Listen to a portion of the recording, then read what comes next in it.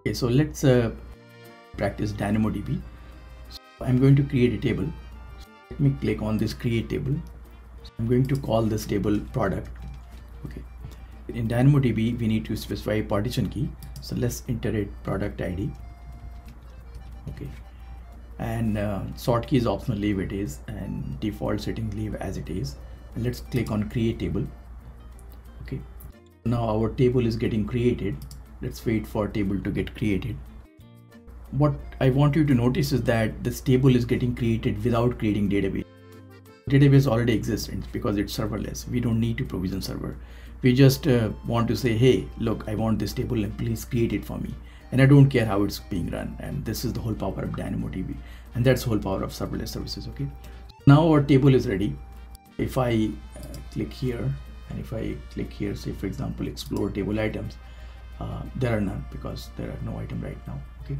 So let's add a few item here. So I'll click on create uh, item okay? For the product ID let's give 100 okay? And um, and then let's add few more attribute. For uh, product name product name let's enter here laptop. Um, laptop okay and we can have product description as well let's add new attribute string and just okay. Um, let's add one more attribute of number type and let's give this attribute name quantity. Okay let's give quantity how much? Uh, 10 okay create this item.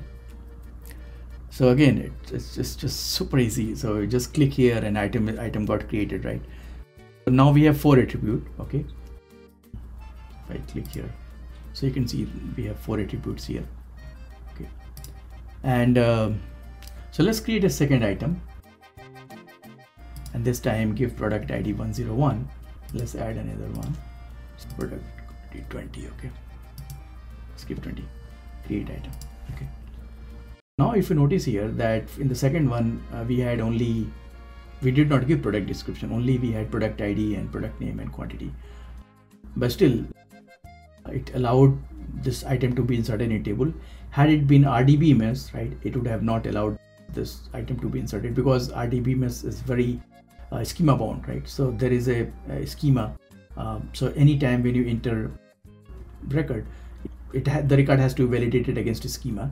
And if it doesn't fit it won't uh, insert it. But here in this case of NoSQL even though the first one four item second one sorry first uh, one had four attribute and second item only had three attribute but it allowed that item to be inserted into the table okay okay? So that's the whole beauty of uh, uh, NoSQL databases. And one important point also is that in NoSQL there is no concept of join. While in RDBMS you can join table but in NoSQL there is no concept of join.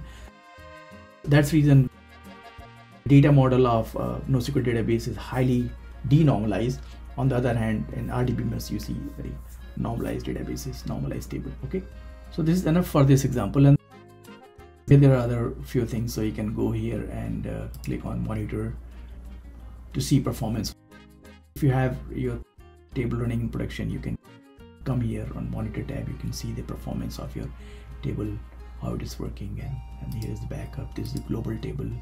These are various options uh, have been provided but I think this is enough for this uh, DynamoDB uh, demo. So I'm stopping here